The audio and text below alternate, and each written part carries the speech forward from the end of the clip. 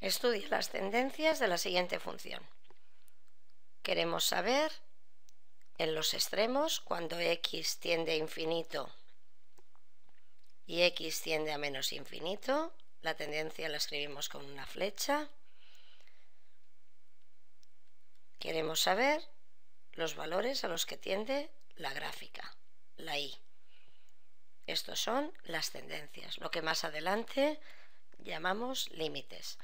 Si nos fijamos en la x infinito, nuestra función seguiría así, de manera que la y tiende a cero. Por la izquierda, cuando x es menos infinito, la y también tiende a cero.